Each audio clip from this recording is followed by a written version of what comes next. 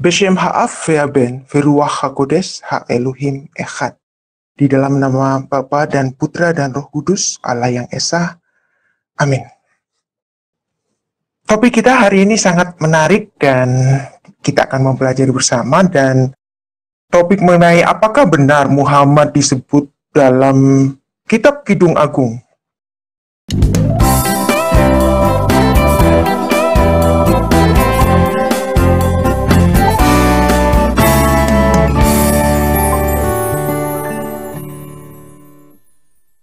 Apakah benar Muhammad disebutkan dalam kitab Kidung Agung dikaji dari aspek linguistik, historis, dan teologis. Ada satu quote yang sangat bagus dari seorang rabi, dia seorang chief rabi, yaitu Rabi Jonathan Sack, yang dia mengatakan bahwa Torah itu adalah global konteks yang dipercayai oleh orang Yahudi, oleh orang Kristen, dan orang Muslim yang di mana kita mempercayai kitab Torah sebagai kitab suci. Walaupun begitu, di antara kita tentu ada disagreement-disagreement. Dan itu tidak membuat kita harus bermusuhan. Jikalau ada perbedaan, maka kita menerima itu sebagai suatu perbedaan. Dan saya akan memberikan orang Yahudi menyikapi, orang Kristen menyikapi, dan bagaimana orang Muslim menyikapi apa yang ditulis dalam kitab Torah ini. Saya tidak memberikan atau mempresentasikan suatu kemutlakan suatu penafsiran karena beriring dengan jalannya waktu saya lebih suka untuk memilih lentur terhadap suatu penafsiran. Dan ini saya harap Anda pun dapat menerima ketika saya harus bersikap lentur terhadap suatu perbedaan penafsiran. The three Abrahamic religion, yaitu Yahudi, Kristen, dan Islam, yang di mana agama Yahudi tentu saja dimulai dari pengajaran dari Nabi Musa, ya Moshe Ravenu.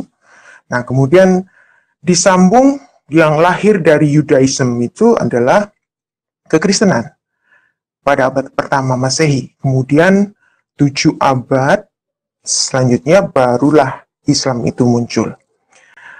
Jadi antara Yahudi, Kristen dan Islam adalah sama-sama agama Ibrahimi atau agama Samawi atau agama langit atau agama Semitik, agama yang diturunkan oleh keturunan Sem. Karena Abraham berasal dari keturunan Sem. Nah, saya mengkuat dari sahabat saya yang bernama Ezra Abraham, dia adalah seorang Yahudi. Tetapi dia adalah seorang Yahudi yang moderat dan dia memiliki satu sikap terhadap perbedaan penafsiran atau perbedaan pandangan dari kitab yang sama yang sama-sama kita anggap sebagai kitab suci. Dia mengatakan banyak orang berpendapat bahwa semua agama Abrahamik harus memiliki keyakinan paralel dan keyakinan tersebut harus memiliki makna yang sama. Itu adalah kesalahan umum yang dilakukan orang ketika mereka mempelajari perbandingan agama. Misalnya, menilai konsep Mesias dan kenabian. Dua hal tersebut selalu menjadi perdebatan panjang yang tak pernah usai. Selama ratusan tahun antara kekristenan dan Yahudi, dan juga Islam mengenai status kemesiasan Yesus atau kenabian Muhammad, karena kebanyakan dari kita menggunakan kerangka konseptual yang kita yakini terhadap orang lain yang di mana agama lain tersebut belum tentu memiliki konsep yang sama meski ketiganya berasal dari Abraham. Memang konsep-konsep ini memiliki beberapa kesamaan dalam pemikiran Yahudi, Kristen, atau Islam. Tetapi tidak hampir pada skala atau signifikansi yang dimiliki rekan-rekan Abrahamik antara satu dengan yang lain. Nah, ini pemikiran yang sangat bagus sekali dari saudara kita yang beragama Yahudi, dan saya harap kita pun dapat menerima perbedaan itu. Termasuk ketika saya memilih lentur terhadap suatu penafsiran atau pilihan terhadap suatu pemahaman. Saya juga berpegang pada suatu prinsip, people can believe what they want to believe. Itu namanya freedom of faith. Alkitab jelas menulis suatu silsilah, yaitu dari Adam, yang kemudian setelah adanya kerusakan di bumi akibat keturunan dari Kain itu beranak pinak kawin mawin dengan keturunan Set yang saleh, kemudian kejahatan merajalela di bumi dan kemudian ada bencana air bah. Nah, Tuhan memulai kehidupan yang baru yang menempatkan Nuh sebagai Adam yang baru. Nah, kemudian bangsa-bangsa di dunia diturunkan dari Nuh. Nah, dari Nuh, Tuhan secara khusus memilih satu garis, yaitu Sem. Di sini, Sem. Nah, dari Sem, dia memilih Abraham. Dari Abraham, dia memilih Ishak. Dari Ishak, dia memilih Yakub. Dari Yakub, dia memilih Israel. Dari Israel, Tuhan memilih secara khusus yaitu Yehuda, suku Yehuda. Nah, itulah sebabnya dalam Yohanes 4 ayat 22, secara khusus berdasarkan kronologi dari silsilah tadi, Tuhan Yesus memberikan satu konfirmasi di perjanjian baru. Dia bersabda, sebab keselamatan datang dari bangsa Yahudi. Ah, Tuhan pilih kasih. Tidak. Karena ketika Tuhan itu berkehendak untuk memberikan satu jalan keselamatan, mau tidak mau Tuhan harus memilih. Satu garis yang dia pilih sejak pada mulanya. Yang di mana bahkan nama dari Yakub itu sudah disebutkan ribuan tahun sebelum Yakub itu lahir. Jadi ini adalah suatu ketetapan dari Tuhan sejak pada mulanya yang kemudian dikonfirmasi lagi oleh Tuhan Yesus. Sebab keselamatan datang dari bangsa Yahudi. Bukan berarti Tuhan itu rasis, tetapi dari Yahudi ini kemudian keselamatan itu disebarkan kepada seluruh bangsa-bangsa. Alkitab kita mau nggak mau, karena Alkitab perjanjian lama, dimulai dari kitab kejadian, itu betul-betul Allah itu memilih sebuah bangsa. Nah, maka mau tidak mau, kita harus melihat runutannya. Runutannya itu melalui siapa? Yaitu mulai dari Abraham, yang di mana Abraham adalah seorang Ibrani. Jadi Ketika kita bicara mengenai garis keselamatan, maka tidak bisa tidak kita harus berpijak pada Abraham dari keibraniannya. Kemudian dari keturunan Abraham yang secara khusus Tuhan itu memilih Yakub, maka kita akan bicara mengenai keisraelan. Nah, dari Israel yang 12 suku itu secara khusus Tuhan memilih suku Yehuda maka mau tidak mau, kita harus melihat dari Yahudi, Yehuda, Yahudi. Itulah sebabnya sabda Tuhan Yesus tentulah memiliki dasar. Bahkan dasarnya itu sejak kitab kejadian. Semuanya tertulis pada kitab kejadian yang merupakan kitab genealogi. Nah, kitab kejadian adalah kitab asal-usul. Asal-usul dari segala sesuatu. Maka orang Kristen harus memulai pemahaman kitab suci harus dari kitab kejadian. Ini adalah satu buku yang saya tulis yang sedianya nanti akan berseri. Saya sedang menyelesaikan seri kedua yaitu Parashat Noah. Yang di mana Parashat Bereshit ini bicara mengenai genealogi langit dan bumi. Parashat Bereshit juga bicara mengenai genealogi monoteisme. Kemudian genealogi manusia, kemudian genealogi keselamatan, kenapa orang Israel itu memulai ibadah mereka dengan cara ibadah sakramental. Dan yang penting, yang sedang sekarang kita pelajari itu yaitu genealogi orang-orang pilihan yang menjadi garis silsilah bagi Sang Mesias. Mulai dari Adam, Seth, Nuh, Sem, Abraham, Ishak, Yakub, Israel, dan kemudian secara khusus Yehuda. Nah, ini semua ada dalam kitab kejadian.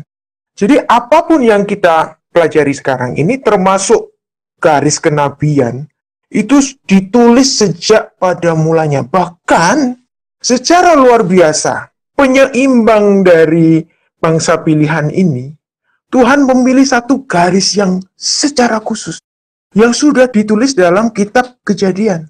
Jadi musuhnya Israel itu sudah ditetapkan Allah sejak pada mulanya. Jadi kitab kejadian itu adalah kitab mula dari segala sesuatu. Lahirnya sebuah bangsa, bangsa pilihan, termasuk lahirnya sebuah bangsa yang menjadi penyeimbang dari Israel tadi. Kenapa harus ada bangsa yang menjadi penyeimbang bagi Israel?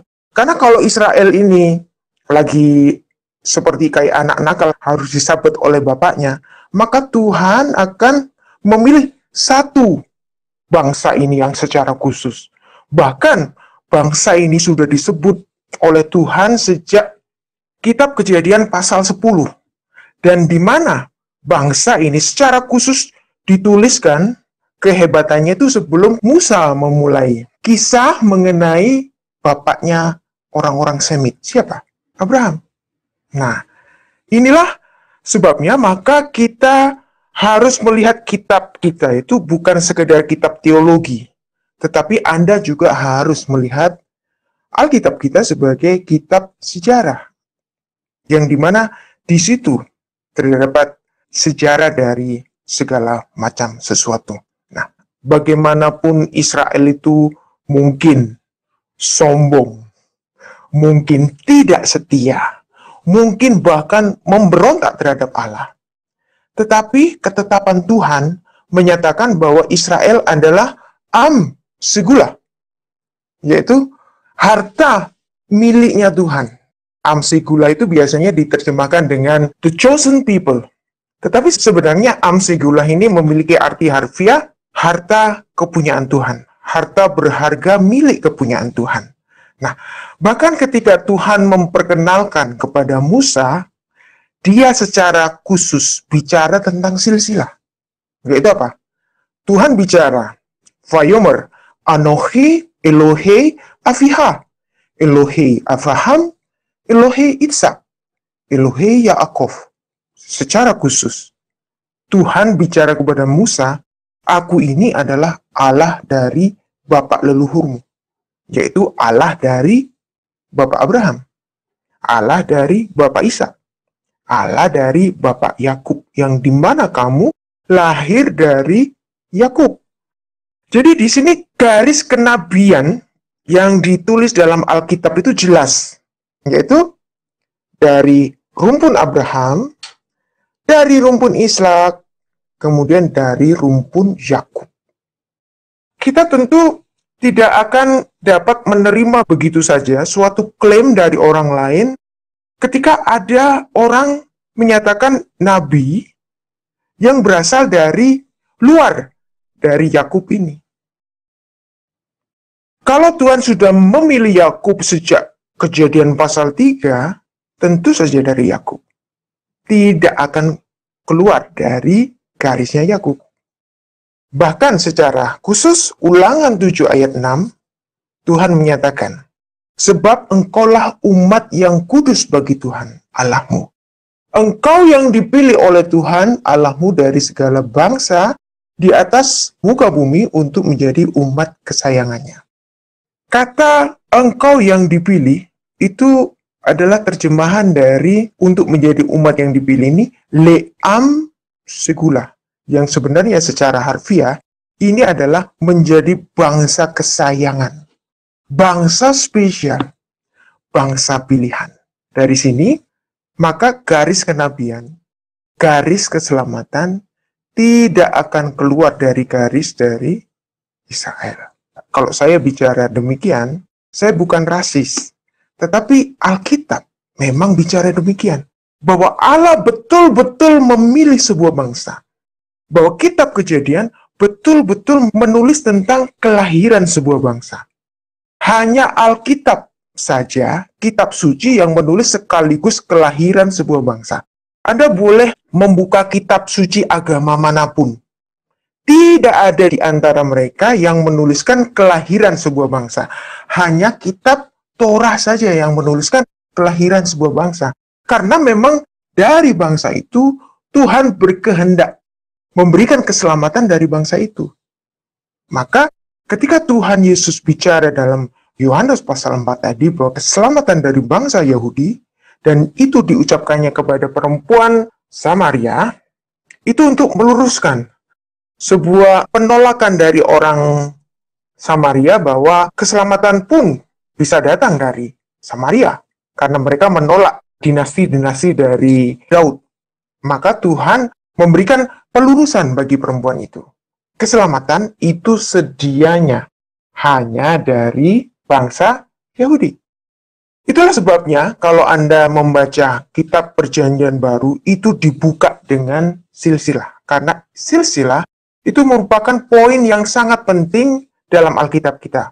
Sejak perjanjian lama pun dalam perjanjian baru. Sehingga kalau Anda membaca Matius 1 ayat 1, inilah silsilah Yesus Kristus. Anak Daud, anak Abraham. Sefer Toledo, Yeshua Hamasya, Ben David, Ben Abraham. Kenapa harus secara khusus menuliskan Ben David? Kalau Ben David akan merujuk kepada apa? Merujuk kepada kesukuan. Kesukuan apa? Kesukuan Yehuda, yaitu Yahudi. Kemudian kalau bicara mengenai Abraham, bicara mengenai keibranian yang memang Tuhan berkehendak melalui Abraham, Tuhan memilih satu rumpun bangsa tertentu. Demikian pun oleh orang asing, yaitu orang Majus. Dia menyebut di mana itu raja orang Yahudi. Maka raja orang Yahudi inilah yang akan menjadi keselamatan bagi seluruh bangsa-bangsa.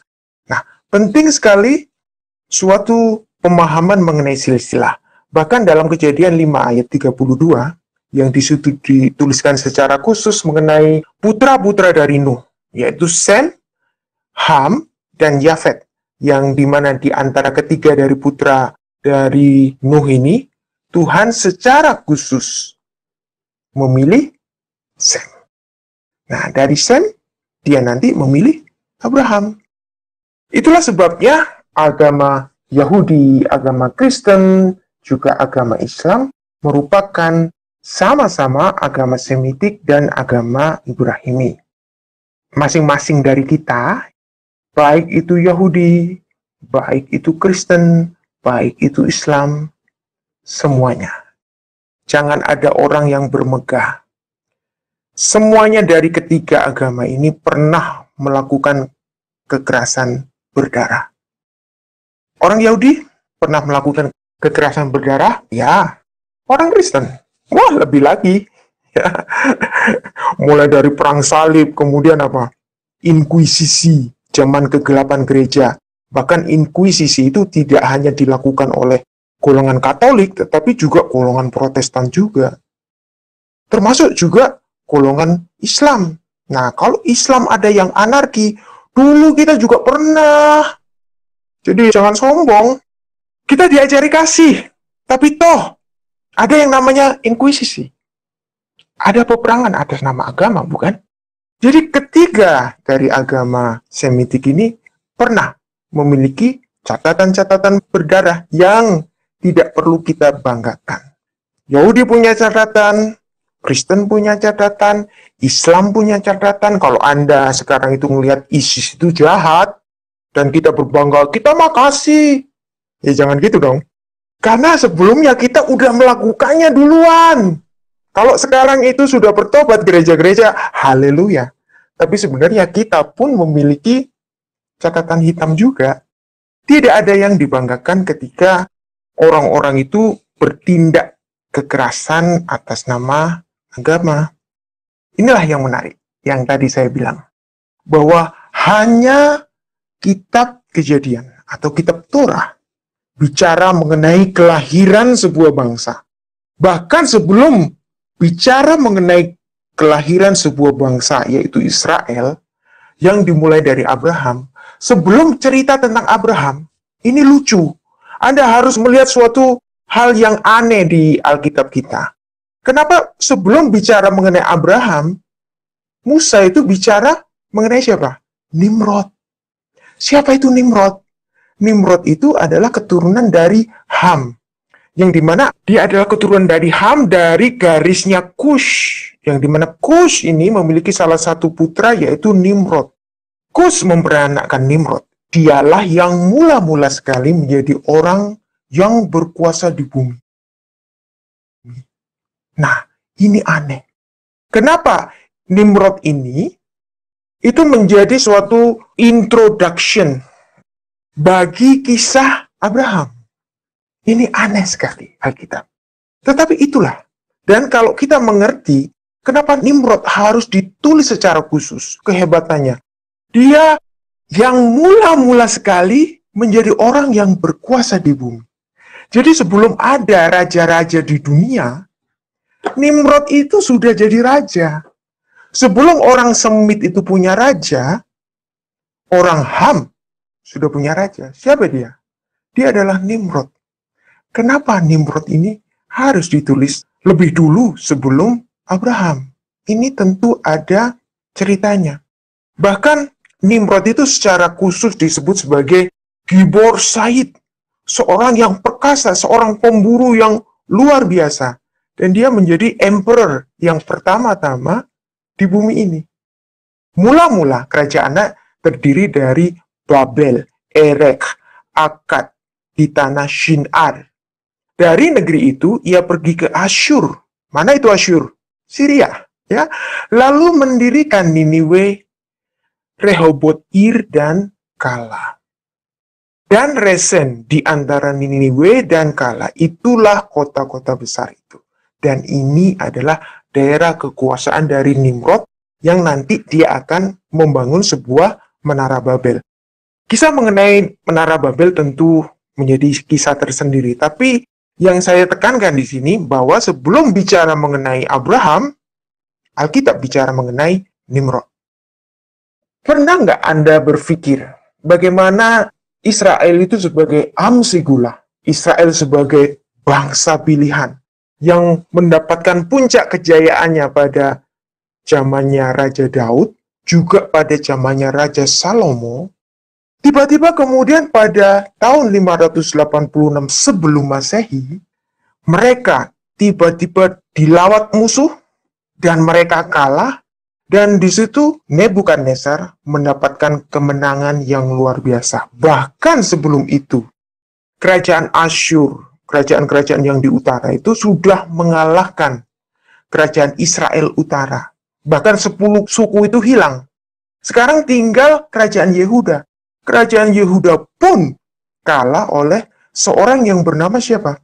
Nebukadnezar. Ketika Yehuda ini kalah, mereka dibuang ke Babel. Kurang lebih selama 70 tahun.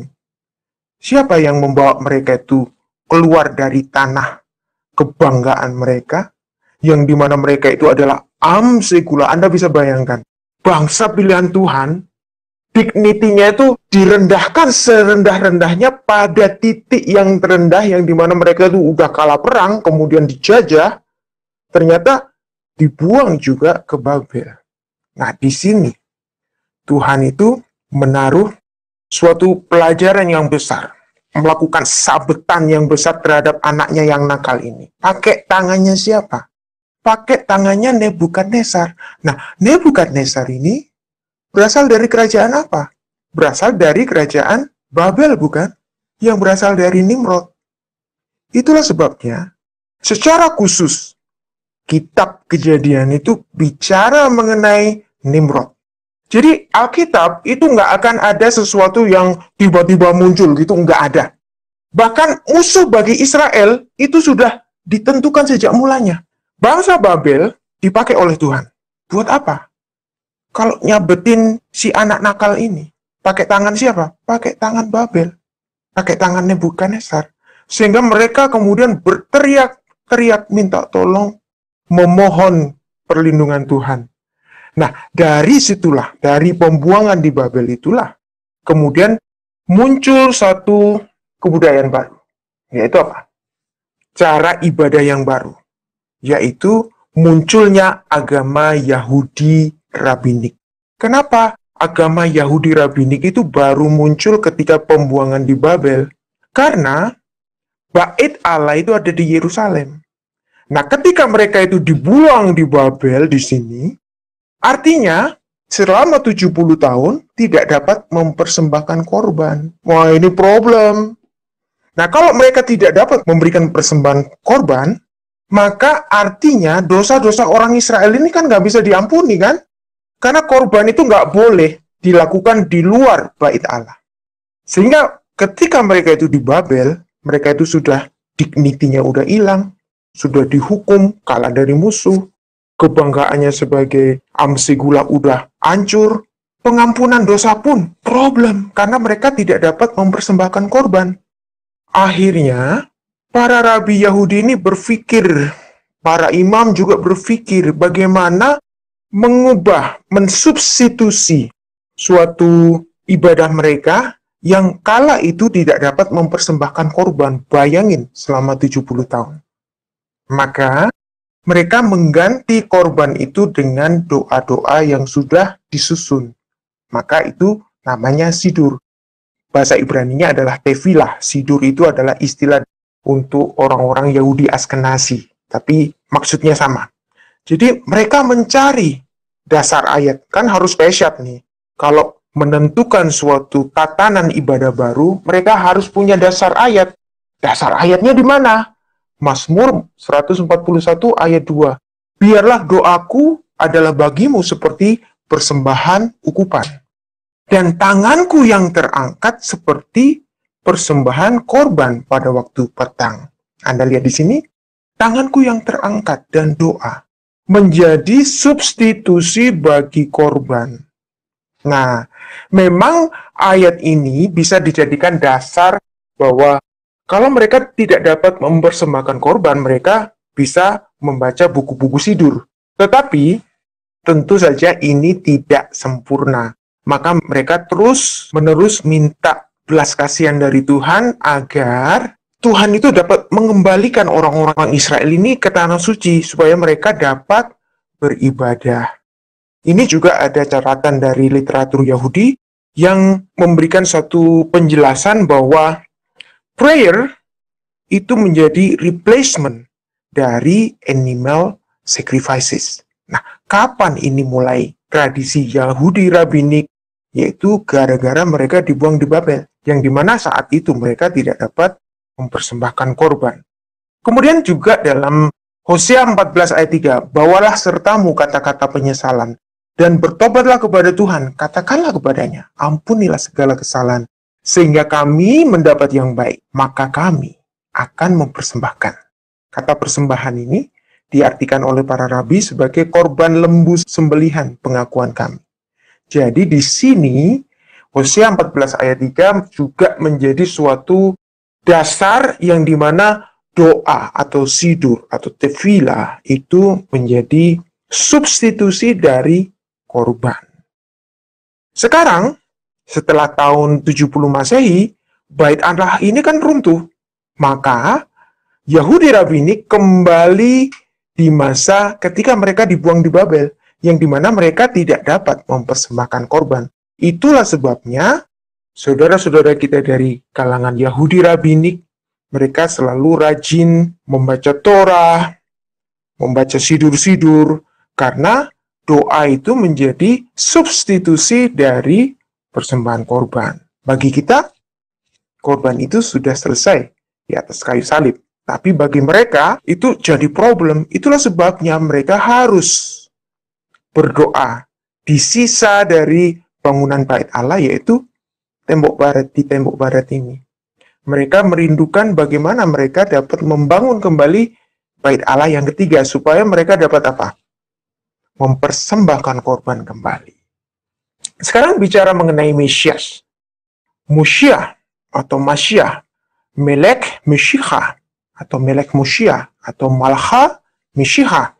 Malha Meshiha ini sudah ada dalam penafsiran para rabi ketika menafsirkan kejadian 3 ayat 15.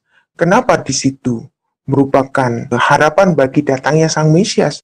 Karena di situ ada suatu paradoks yang di mana Adam yang hari itu harus mati, maka dia diberikan justru suatu harapan kehidupan yaitu adanya keturunan melalui perempuan. Nah, kata Mesias awalnya itu adalah suatu kata yang umum yang diterapkan kepada para imam-imam Israel. Jadi imam-imam ketika mereka itu dikukuhkan, inaugurasi, mereka itu diurapi. Sehingga para imam ini juga bisa disebut sebagai Mesias. Kemudian para raja Israel, karena mereka itu inaugurasinya juga melalui pengurapan minyak, maka mereka pun disebut Mesias. Ada satu lagi, yaitu Mesias masa datang. Mesias setelah pembuangan di Babel, yang di mana kemudian Mesias itu diterapkan kepada seorang yang secara khusus dikirim oleh Tuhan untuk membebaskan Israel atau untuk membangun kembali bait Allah. Dalam makna seperti dalam kitab Daniel ini, makna Mesias itulah yang sedang dinanti-nanti oleh orang Yahudi hingga sekarang. Yang di mana dalam Mesias ini, kita sudah melihatnya bahwa Mesias itu sudah terpenuhi dalam diri Yesus Kristus. Dan ada suatu keanehan lagi. Tadi kita sudah mendapatkan satu keanehan.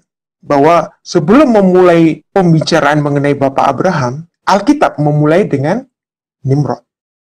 Keturunan dari Ham yang memiliki anak Kush, yang di mana Kush ini memiliki anak yaitu Nimrod. Dan itu menjadi intro dari kisah Abraham. Dan dari Nimrod ini kemudian lahir siapa? Lahir Nebukadnezar. Dari rumpun Nimrod juga, yaitu siapa? Kores, Raja Kores. Raja Kores yang agung, yang hidup pada sekitar 590 sampai 529 sebelum Masehi, Anda lihat di sini, adalah satu-satunya orang non-Israel yang disebut sebagai apa? Mesias. Aneh sekali, bukan? Siapa bapak leluhur dari Kores ini? Dia adalah Nimrod, bukan? Itulah pentingnya kenapa Nimrod ditulis dalam kejadian pasal 10. Kores ini diurapi oleh Allah sehingga pun sebenarnya dia memperoleh gelar kemesiasan dalam dirinya. Luar biasa bukan? Nah, jadi jangan main-main sama Nimrod. Nimrod ini seorang yang luar biasa, bahkan keturunannya sampai hari ini tuh luar biasa. Dan yang di depan kita ini adalah seorang yang bernama Bashar al-Assad.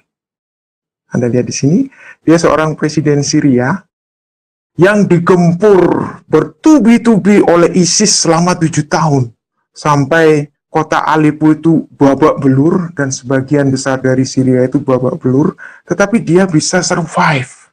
Anda bisa membayangkan bagaimana dia bisa survive dari gempuran ini dan dia musuhnya dari Amerika, musuh dari Israel sampai hari ini. Ya, kenapa dia begitu luar biasa? Karena dia adalah keturunan dari Nimrod satu orang ini punya sahabat yaitu Presiden Putin. Jadi dua orang ini saya sangat kagumi dan salah satu dari mereka ini Bashar al-Assad ini adalah keturunan dari Nimrod. Jadi lagu yang luar biasa tadi itu memang menggambarkan dari keperkasaan Nimrod tadi. Yang di mana orang-orang Kristen ini hampir mungkin tidak melihat siapa itu Nimrod. Kenapa dia begitu dipelihara Tuhan? Kenapa dia dipelihara Tuhan? Karena memang dia dipakai sebagai alat Tuhan kalau Israel itu nakal gitu seperti anak kecil yang nakal gitu harus disabet gitu kan. Nah, sekarang kita bicara mengenai Arab. Arab ini beda lagi.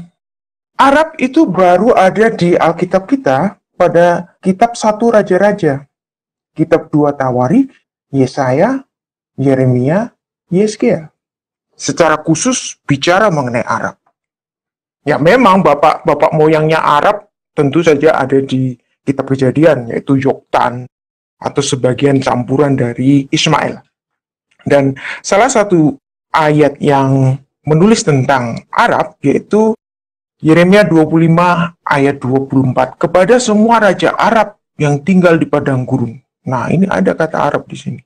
Kata Arab itu baru ada di kitab Raja-Raja, Yeremia, dan seterusnya. Kata Arab sendiri tidak ada di kitab kejadian. Nah, sedangkan kita selalu melihat asal usul dari segala sesuatu itu dari mana? Dari kitab kejadian, termasuk Nimrod, termasuk Asyur, termasuk Babel, yang di mana mereka adalah bangsa-bangsa yang sebenarnya dipelihara Tuhan untuk menjadi alat Tuhan, untuk menjadi penyeimbang bagi Israel apabila Israel memberontak terhadap Tuhan. Bahkan salah satu keturunan dari mereka, siapa? Koresh, mendapat gelar Mesias. Bukankah ini sesuatu yang luar biasa?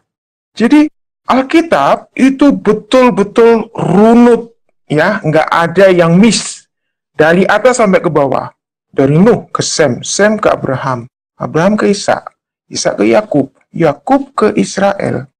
Arab utamanya yang di selatan itu berasal dari Yoktan di sini. Kemudian ada perkawinan campur dengan sebagian orang-orang Ismail, juga Esau. Nah, ini menjadi bangsa Arab yang besar. Yang di mana ternyata bangsa Arab ini, kata Arab sendiri di Alkitab kita itu baru ada pada kitab Satu Raja-Raja.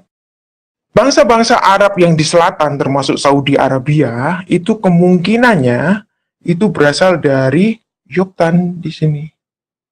Dan itu ditulis dalam kejadian 10 ayat 25. Nah, Yoktan beranak pinak dan kemungkinan besar melahirkan bangsa-bangsa Arab yang di selatan termasuk Saudi Arabia. Tetapi ini kan Yoktan, bukan Arab. Arab baru ada pada satu raja. Sekarang bagaimana kita menyikapi klaim dari teman muslim apakah benar ada nama Muhammad disebutkan dalam kitab Kidung Agung? Saya adalah penganut prinsip yaitu Shif'im Panim La Torah. Ungkapan Ibrani bahwa Torah itu memiliki tujuh wajah ini ditujukan untuk pada penafsiran yang bermacam-macam terhadap Taurat secara berbeda-beda. Perbedaan ini itu mau nggak mau itu ada. Sehingga saya memilih dari prinsip Shif'im Panim Latora ini suatu kelenturan dari suatu penafsiran. Kalau kamu memilih tafsir itu, ya silahkan. Saya nggak beli tafsir itu. Saya percaya pada tafsir yang ini. Kamu menafsirkan itu silahkan, tapi itu bukan tafsirku. Tapi itu bukan yang aku pilih, tapi itu bukan yang aku percayai. Demikian juga ketika saya melihat seorang teman muslim yang mengatakan bahwa ada nama Muhammad dalam kitab Kidung Agung.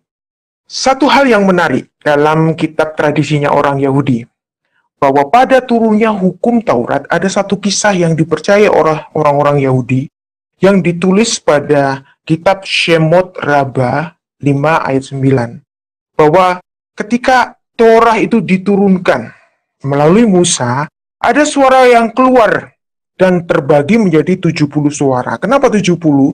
Karena angka 70 ini dalam kehidupan orang-orang Ibrani adalah lambang dari bangsa-bangsa di dunia. Karena bangsa-bangsa di dunia ini diturunkan dari keturunan Nuh yang berjumlah 70. Di mana ditulis? Ditulis dalam kejadian pasal 9. Itu betul-betul 70 keturunan dari Nuh. Ada suara yang keluar dan terbagi dalam 70 suara. 70 bahasa, supaya semua bangsa bisa mendengar dan semua umat dan bangsa mendengar suara tersebut dalam bahasa mereka sendiri. Yang di mana dengan pengertian ini, orang Yahudi memandang bahwa Torah ini suatu global konteks bagi seluruh bangsa-bangsa.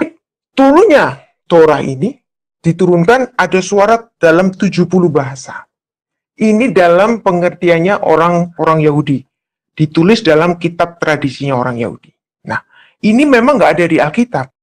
Tapi walaupun ini nggak ada di Alkitab, adalah suatu keanehan bahwa ternyata dalam perjanjian baru ada satu konfirmasi kejadian yang serupa. Saya melihat ini adalah suatu tipologi, ternyata ada antitype-nya. Di mana itu antitype? Yaitu di kitab Kisah Para Rasul. Kisah Para Rasul pasal 1 sampai 8 yang ini merupakan intro dari turunnya Roh Kudus. bahwa ketika Tuhan itu naik ke surga, dia bersabda, tetapi kalian akan menerima kuasa kalau roh kudus turun ke atas kamu, dan kamu akan menjadi saksiku di Yerusalem, dan di seluruh Yudea, Samaria, sampai ujung bumi. Kalau bicara mengenai ujung bumi, Tuhan Yesus pasti memaksudkan ini kepada seluruh bangsa-bangsa yang dalam mindsetnya orang Ibrani itu disimbolkan dengan angka 70. Nah, Anda lihat di sini bahwa ada satu peristiwa yang di mana terdapat nasional akhirat. Adanya bahasa-bahasa yang terjadi pada fenomena turunnya roh kudus kepada para rasul yang ditulis pada kisah para rasul 2 ayat 4 sampai 11, maka penuhlah mereka dengan roh kudus. Lalu mereka mulai berkata-kata dalam bahasa-bahasa. Klosais heterais. Seperti yang diberikan oleh roh itu kepada mereka untuk mengatakannya. Nah, Anda lihat di sini, ada pembicaraan yang berbeda-beda Waktu itu di Yerusalem diam orang-orang Yahudi yang saleh dari segala bangsa. Anda lihat di sini, ada orang-orang proselit dari bangsa yang bermacam-macam di bawah kolong langit. Ketika turun bunyi itu, berkerumunlah orang-orang banyak. Mereka bingung karena mereka masing-masing mendengar rasul-rasul itu berkata-kata dalam bahasa mereka sendiri.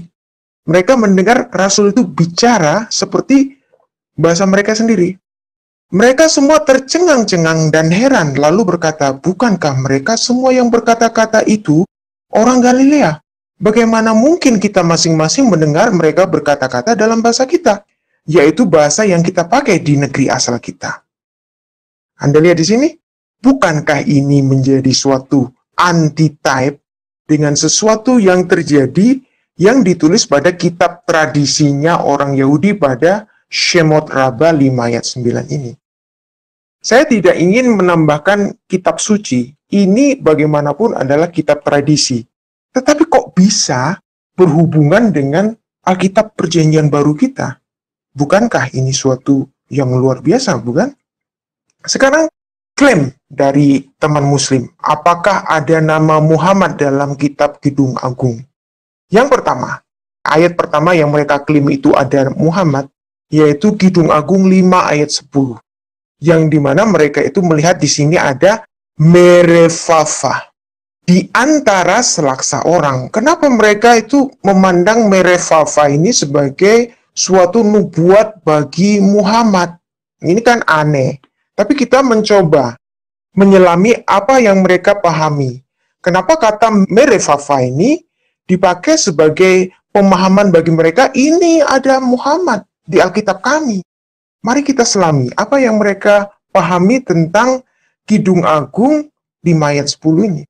Dan juga mereka memandang bahwa paran, baka, syair itu dianggap sebagai bukan di Sinai di sini, di dataran di sini, tetapi di Arab yang selatan, Saudi Arabia yang dekat Mekah. Nah itu kan klaim. Bagi kita klaim itu tidak akan cocok dengan apa yang kita pelajari juga dalam peta, juga dalam pemahaman historis secara alkitabiah. Tetapi itu pemahaman mereka, itu yang mereka percayai. Ya sudah, kita mau berdebat sampai kapan pun, mereka tetap menganggap ini ada Muhammad. Kenapa Merefafa tadi itu dikaitkan pada Muhammad? Karena mereka memandang ulangan pasal 33 ayat 2, ada kata puluhan ribu, karena paran ini mereka anggap ada di Arab Selatan, ya, maka kata puluhan ribu ini, rifefot, nah ini adalah bentuk plural dari refafa tadi, ya ini bentuk pluralnya, jadi merefafa di sini merifefot. Merifefot di sini itu menjadi satu pemahaman bagi mereka atau dasar bagi mereka bahwa ulangan 33 ayat 2 menubuatkan Nabi Muhammad. Maka ya yang tertulis pada Kidung Agung 5 ayat 10 ini ini adalah nubuat bagi Muhammad. Bagi Anda itu nggak masuk akal. Bagi kita nggak masuk akal.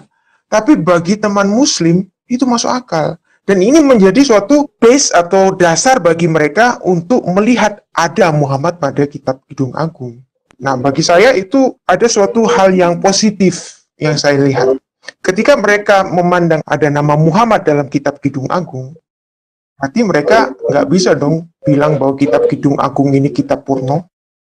Kalau mereka menganggap ada nabi junjungan ada di kitab Kidung Agung, maka nggak mungkin mereka dapat mengatakan bahwa kitab Kidung Agung ini adalah kitab purno. Kalau mereka mengklaim ini adalah kitab purno, bagaimana mungkin Nabi junjungannya ada pada kitab purno? Gitu kan? Saya tidak ingin berdebat, tapi marilah kita bersama-sama memahami kenapa orang muslim memandang ini ada nama Muhammad.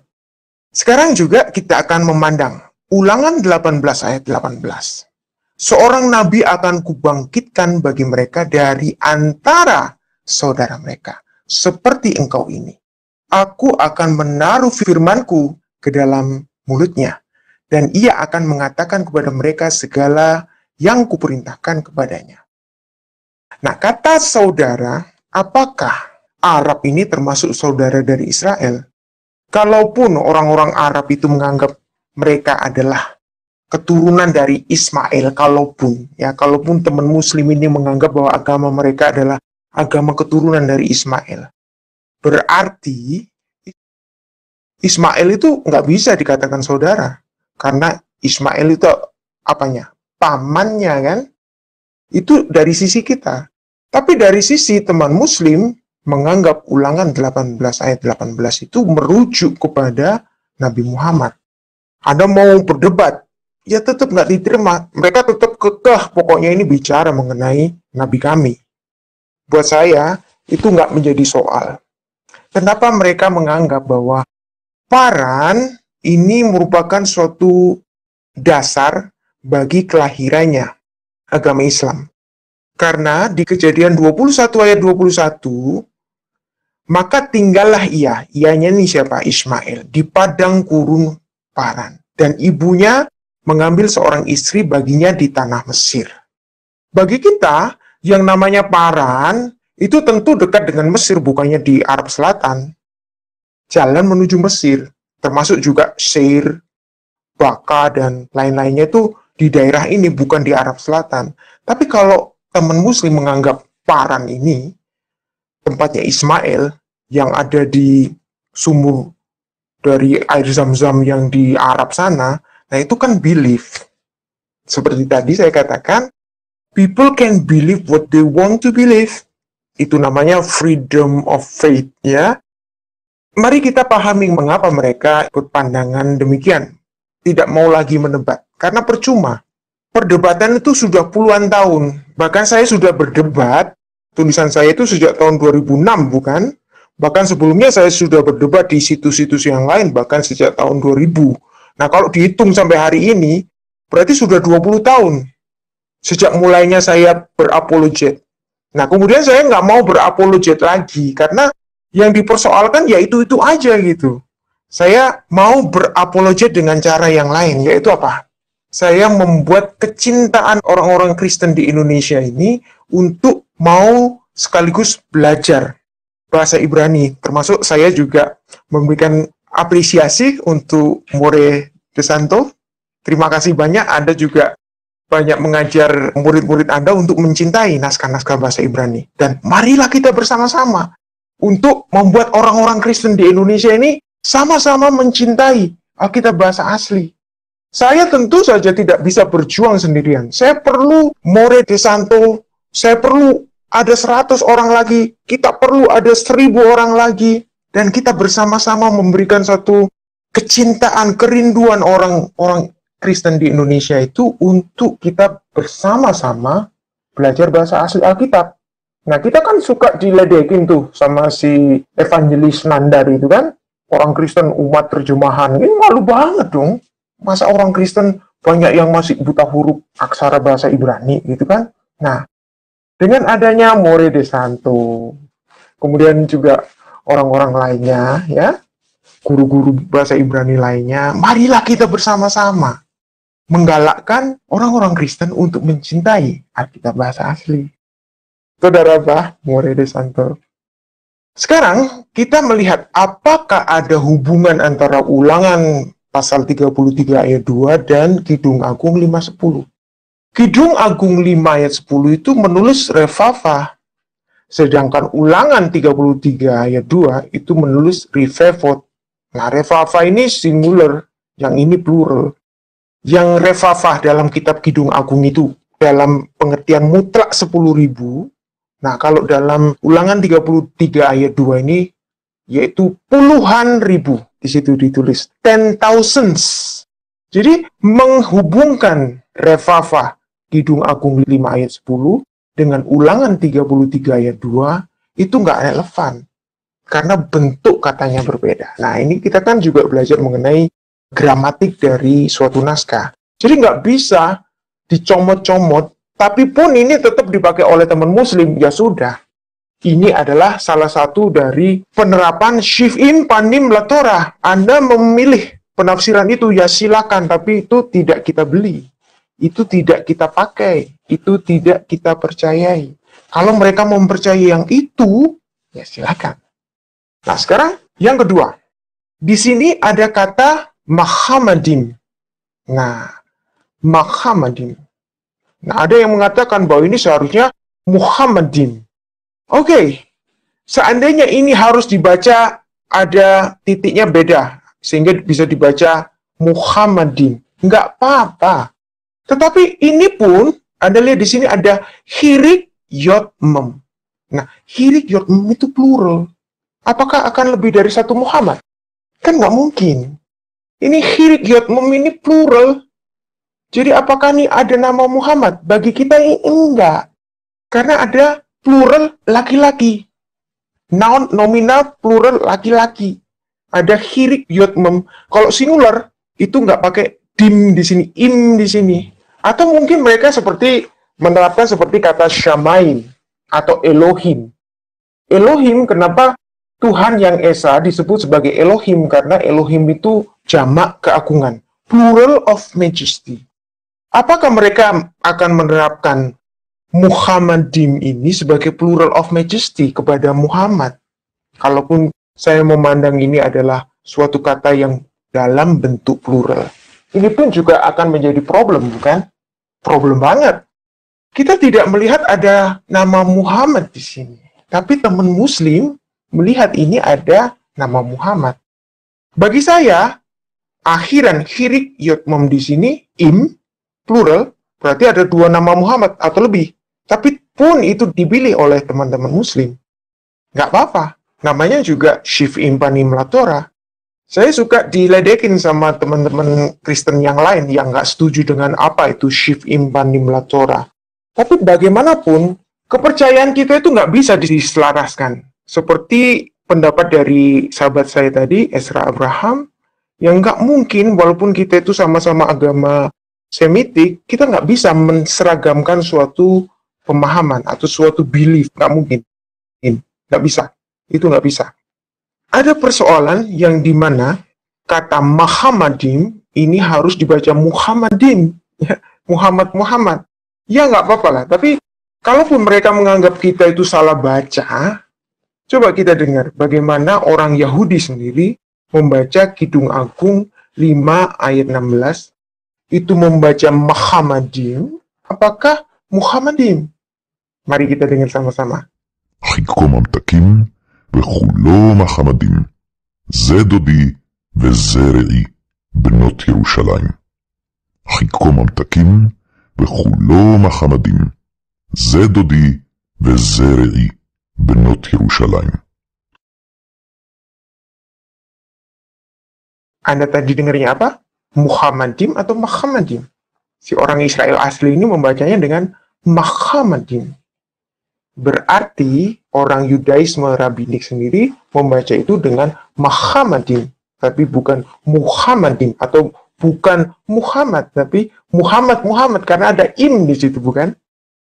Dalam bahasa Ibrani, Kidung Agung 5 ayat 16, tertulis kata Muhammadim yang merupakan bentuk plural dari kata Muhammad.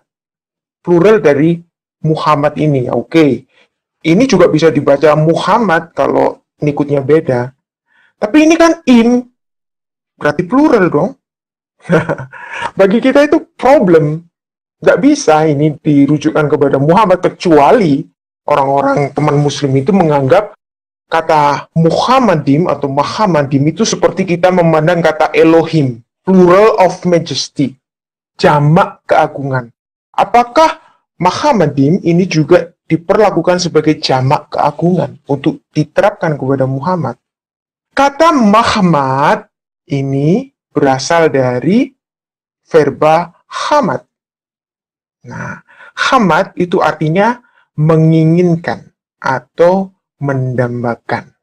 Nah, kalau kita lihat di sini, kata hamad menjadi mahmad, yang kemudian dibaca Muhammad, yang di mana dalam Kidung Agung 5 ayat 16 itu adalah Muhammadim, berarti di sini hanya kemiripan bunyi saja ataupun kemiripan arti. Bolehlah, karena banyak arti-arti dalam bahasa Arab itu yang mirip dengan bahasa Ibrani, bukan? Ya nggak apa-apa. Tapi apakah ini merujuk kepada Muhammad? Kalau saya bilang bukan. Kalau mereka, teman-teman muslim menganggap ini ada Muhammad, ya silakan. Shift impanim latora buat saya. Ya kan? Pilihan mereka. Nah, sekarang saya akan bicara khusus mengenai sores dari nama Muhammad ini atau dibaca Muhammad Oke. Nah, kata Hamad itu adalah kata kerja yang artinya menginginkan, mendambakan. Kata ini dipakai dalam 10 hukum Tuhan sebagai penutup. Tapi bukan dipakai dalam artian yang positif, tapi dipakai dalam artian yang negatif. Kalau ada dalam suatu hukum dan hukum itu ditaruh pada tempat yang terakhir, berarti hukum itu yang paling nggak berarti atau justru yang paling penting? Ada yang tahu hukum ke-10 itu bunyinya apa? Jangan mengingini. Jangan mengingini. Jangan, Jangan mengingini. Nah, kata mengingini itu berasal dari bahasa Ibrani apa? Hamad. Anda lihat di sini, jangan mengingini. Hamad, rumah sesamamu. Jangan mengingini. Ini kan juga ada kata hamad yang dibaca mereka sebagai Muhammad itu kan.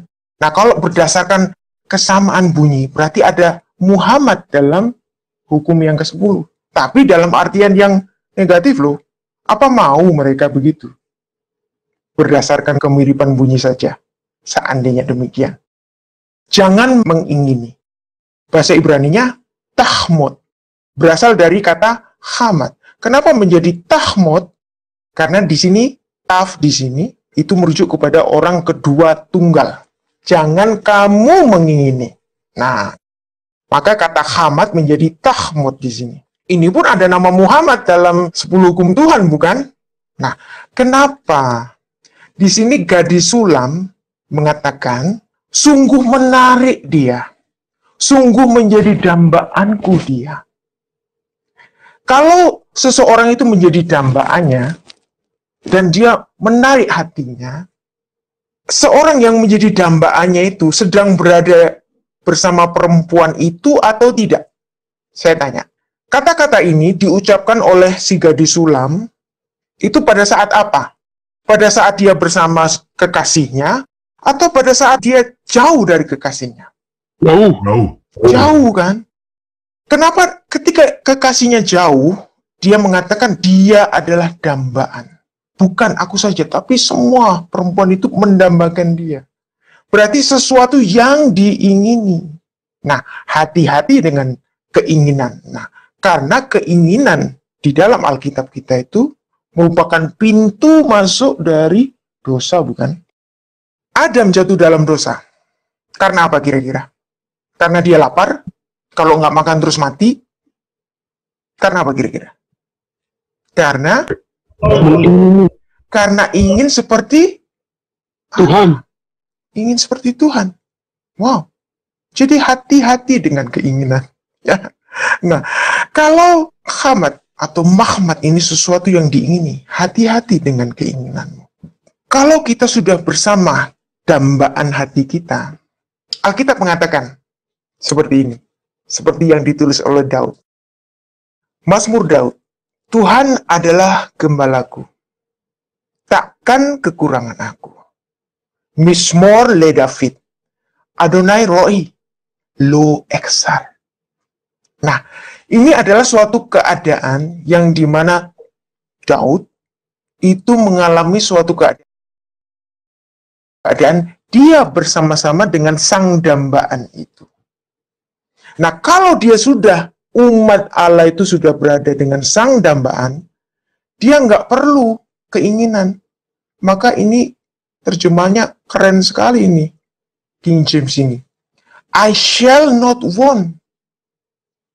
Jadi Adonai Roi lo eksar. Ketika Tuhan itu menjadi gembalaku, Aku itu nggak sempat pengen, nggak sempat.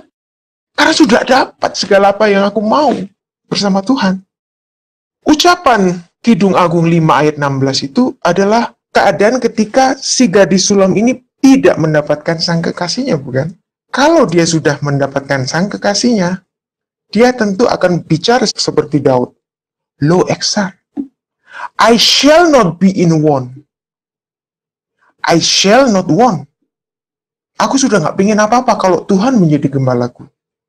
Bukankah ini luar biasa sekali?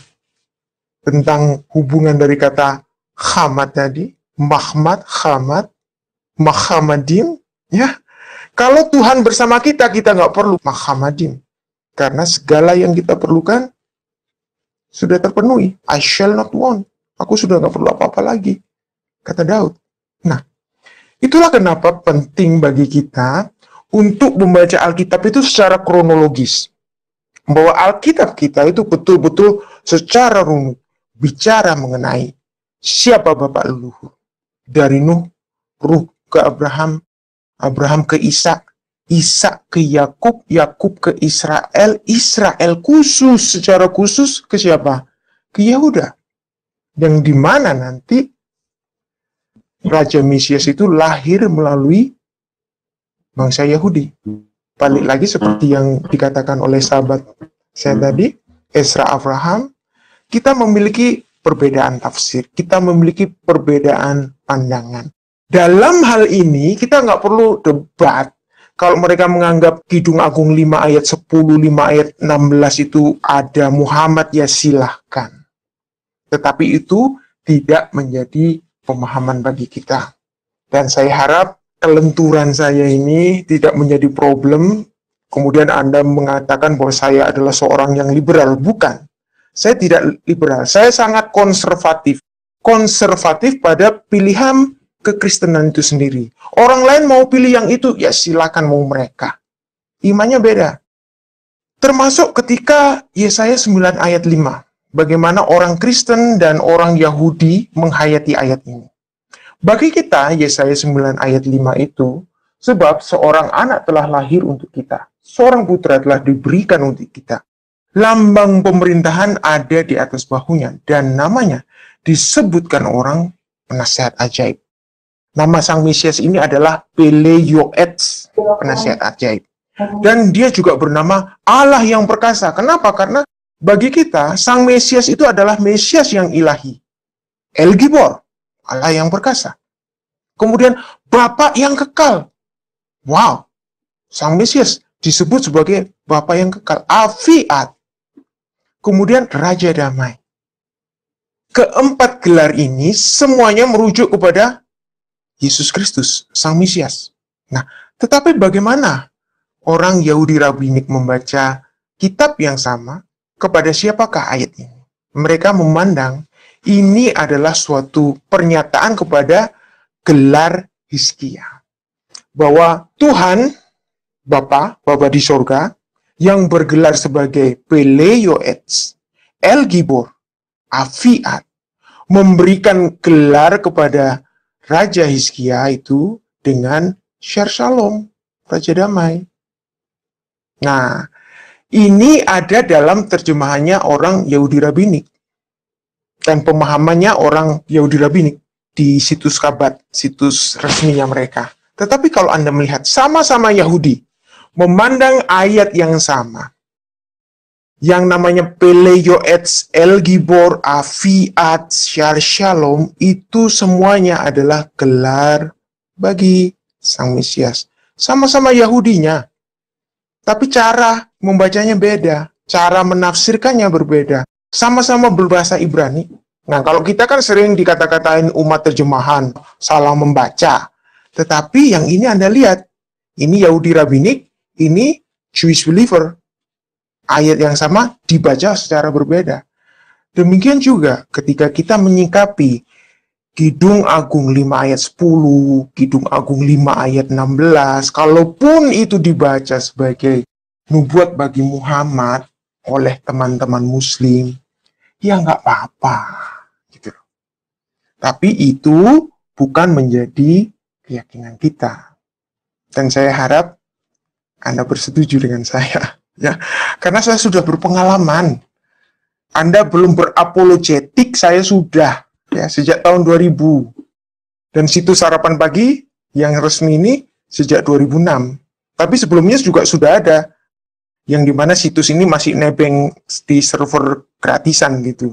Nah kemudian kami punya server sendiri tahun 2006 dan itu sampai hari ini. Nah itu sudah memuat bahasan-bahasan mengenai Kidung Agung 5 ayat 10, Kidung Agung 5 ayat 16, dan walaupun dijelaskan secara dan berdebat berkepanjangan tetap nggak manjur. Jadi ya sudah, silahkan teman muslim percaya pada tafsirannya sendiri dan kita tetap pada keyakinan kita. Dan keyakinan kita bukan sekedar keyakinan teologis, tetapi keyakinan kita itu dikonfirmasi dengan keyakinan historis bahwa Alkitab kita tidak hanya berupa catatan-catatan teologis, tetapi juga mencatat secara historis. Bagaimana kita dapat melihat suatu catatan historis, yaitu ketika Alkitab menulis silsilah, yang di mana silsilah ini perlu kita pandang secara keyahudian, secara kesemitikan, karena baik perjanjian lama maupun perjanjian baru, itu sebenarnya ditulis dalam wawasan keibranian wawasan keisraelan, wawasan keyahudian, maka kita perlu membaca Alkitab bagaimana ketika Alkitab ini ditulis dalam konteks budayanya orang-orang Yahudi.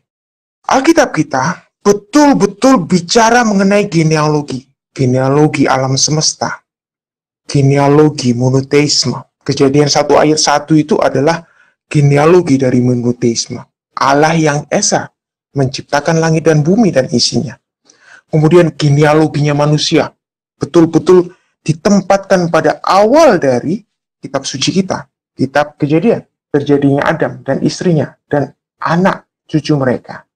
Kemudian ada genealogi keselamatan. Nah ini penting juga. Nah keselamatan kita, sistem ibadah kita yang adalah agama sakramental, itu merupakan kepercayaan yang memiliki genealogi. Luar biasa bukan? Bahkan kitab kejadian bicara juga mengenai genealogi bangsa pilihan. Nggak ada satu kitab suci mana pun bicara mengenai kelahiran sebuah bangsa, kecuali kitab Torah. Keselamatan, genealogi keselamatan, itu ada dalam kejadian 3 ayat 15 dan itu merupakan suatu Injil yang pertama. Siapa yang menyatakan bahwa kejadian 3 ayat 15 adalah Injil yang pertama atau proto evangelium. Dia adalah Bapak Gereja Irenaeus. Bapak Gereja Irenaeus adalah murid dari Polikarpus. Polikarpus murid dari Rasul Yohanes. Jadi setidaknya Bapak Gereja Irenaeus ini adalah generasi ketiga dari para rasul. Dia memandang kejadian 3 ayat 15 sebagai Injil yang pertama. Berita Injil yang pertama. Jadi Injil yang pertama itu bukan kitab Matius, tetapi justru ditulis dalam kitab kejadian 3 ayat 15. Karena pada hari kematian Adam, ya, karena Adam, kalau kamu makan hari ini kamu mati. Tetapi pada hari kematian Adam, Tuhan bicara tentang apa? Keturunanmu dan keturunannya. Luar biasa, ada satu paradoks. Dan paradoks ini dibaca oleh Bapak Gereja Irenaeus sebagai harapan akan terjadinya rekonsiliasi akibat dosa dari Adam. Anda lihat di sini, kalau dibaca dalam bahasa Indonesia hilang ini genealoginya. Keturunannya akan meremukkan kepalamu. Dan engkau akan meremukkan tumitnya. Nah ini kata tumit. Kata tumit dalam bahasa Ibrani itu akef. Dan ini merupakan sores dari nama Yaakov. Jadi nama Yakub itu sudah diucapkan Allah sejak kejadian 3 ayat 15 dalam bentuk figuratif. Karena kalau waktu itu Tuhan mengatakan nanti ada keturunannya Yakub nanti akan menjadi sang Mesias, sangat menjadi suatu kesulitan bagi Adam, bukan? Dia nggak akan ngerti, maka Tuhan memberikan satu simbol di sini. Tumit. Siapa tumit? Nanti keturunan si tumit itu yang akan remuk tumitnya. Kalau bicara mengenai remuk di sini, bicara mengenai apa? Kematian. Ve'eva asid. Nah, Eva di sini, ini adalah perseteruan berdarah. Arti harfiahnya itu. Asid aku akan mengadakan. Siapa yang mengadakan Tuhan? Dan dia sendiri, Allah inkarnasi, dia yang akan menjadi pembayar bagi kematian itu yang sudah dilakukan Adam sejak pada mulanya. Jadi, yang namanya genealogi keselamatan itu sudah ada sejak kejadian 3 ayat 15. Jadi pijakannya bagi kita kalau membaca Alkitab itu selalu harus ada ditulis pada kitab kejadian. Jangankan bangsa pilihan. Bangsa yang menjadi musuh bangsa pilihan, yang menjadi penyeimbang bagi kekuatan bangsa pilihan ini, sudah ditentukan Allah sejak kitab kejadian bukan? Siapa dia? Nimrod. Bukankah ini sesuatu yang luar biasa? Yang tidak pernah kita lirik bahkan. Siapa itu Nimrod? Ya kan? Nah, inilah pentingnya kita membaca Alkitab secara runut. Kalau teman muslim tidak membaca kitabnya secara runut karena memang kitabnya itu tidak menulis secara kronologis seperti Alkitab kita, ya nggak apa-apa, itu namanya pilihan. Bahkan bukan hanya Bapak Gereja Irenaeus saja. Seorang yang bernama Jonathan Ben Uziel. Dia adalah murid terbaik dari Beit Hillel. Yang kira-kiranya umurnya itu sepantaran dengan Yesus atau segenerasi dengan Yesus. Dia menerjemahkan kejadian 3 ayat 15 ini dalam bahasa Aram. Ya, jadi bahasa Ibrani diterjemahkan menjadi bahasa Aram. Dan dia menambahkan suatu komentari dari para rabi bahwa di sini menjadi harapan akan hadirnya sang Mesias. Karena dia menyebutkan ada malha mesiha pada kejadian 3 ayat 15 untuk Targum Jonathan. Berarti orang Yahudi pun memandang kejadian 3 ayat 15 ini sebagai genealogi dari keselamatan. Bagi kita, segala sesuatu ada genealoginya. Maka kalau mengklaim ada nama Muhammad dalam kitab Kidung Agung, kita boleh bertanya, di mana genealoginya? Karena nama Arab sendiri itu baru ada pada kitab satu raja-raja, bukan? Bagi kita itu tidak masuk, bagi kita. Tapi kalau bagi mereka itu dipakai, ya silakan pijakan kita selalu harus ada dasarnya pada kitab kejadian. Seperti hal ini, pada rencana keselamatan, genealoginya itu ada pada kitab kejadian. Bangsa pilihan, genealoginya ada pada kitab kejadian. Terpilihnya Yehuda sebagai yang memegang tampuk kepemimpinan tongkat kerajaan ada sejak kitab kejadian. Ini adalah Jonathan Ben Uziel yang menerjemahkan Targum yang hidup sejaman kira-kira dengan Yesus Kristus yang di mana dia membubuhkan kata Malha Mesiha pada kejadian 3 ayat 15. Berarti pemahaman keselamatan datang dari rumpun si tumit. Siapa itu tumit? Yaakov, Akef, sejak ada dalam kitab kejadian. Itulah sebabnya ada satu hal yang sulit dalam perjanjian baru. Matius 22 ayat 41 sampai 46. Kalau sang Mesias itu adalah keturunan Daud, bagaimana mungkin dia itu adalah tuanya pula? Kalau dia keturunannya, pasti dia harus memandang bapak leluhurnya ini lebih tinggi. Tapi bagaimana seorang keturunan dari Daud, Daud sendiri menyebut dia adalah tuanya. Ini nggak bisa tidak kalau dia itu bukan Allah yang inkarnasi. Daud, sang bapak leluhur itu harus memanggil sang Mesias ini dengan Tuan, karena Tuhan ini ya adalah Allah yang inkarnasi yang memilih lahir dari salah satu rumpun dari suku Yehuda. Nah, kalau begini kan bisa kita runut. Bahkan pemilihan Yehuda sebagai pemilik tongkat kerajaan itu ada sejak kitab kejadian. Maka kalau nggak ada runutannya dari sejak kitab kejadian, klaim mengenai nabi nggak bisa kita terima. Ini poin penting saya. Kalau nggak ada hubungannya dengan kitab kejadian, klaim itu tidak dapat kita terima. Buat saya, keturunan dari Nimrod itu jauh lebih penting atau lebih berperan bagi orang Israel daripada keturunan dari Yoktan. Begitu bukan? Mungkin Anda ada yang tidak bersetuju dengan saya. Nggak apa-apa. Jadi, Tuan dan anak Daud. Siapa Daud? keturunan dari Yehuda. Kenapa harus Daud? Kenapa harus Yehuda? Karena Yehuda lah yang diberikan tongkat kerajaan sejak kitab kejadian. Maka seandainya ada klaim tiba-tiba ngambil di tengah-tengah dari Alkitab kita yang nggak ada basicnya pada kitab kejadian, klaim itu tidak dapat kita terima. Nah, itulah pentingnya silsilah ditulis di dalam Alkitab kita.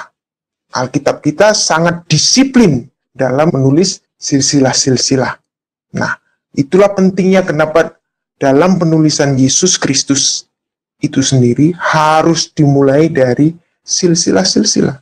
Karena silsilah ini penting. Kalau nggak ada silsilah, tiba-tiba ngeklaim, tiba-tiba ada nabi A, agama A, misalnya, ngeklaim di kitab Kidung Agung 5, 10, 5, 16 itu ada nabi mereka, bagi kita itu nggak bisa, nggak bisa dipertahankan.